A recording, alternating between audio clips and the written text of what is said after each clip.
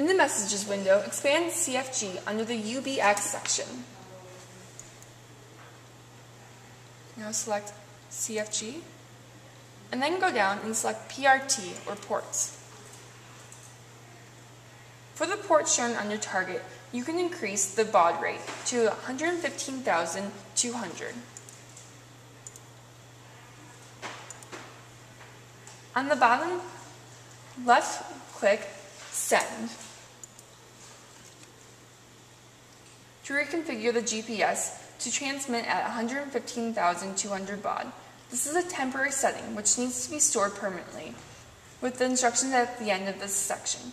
If you make a mistake in any of the above steps, you can just power down and the unit will revert back to the original setup.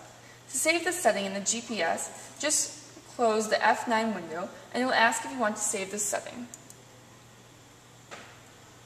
Click Send again and it will be saved. This allows you to change one setting only.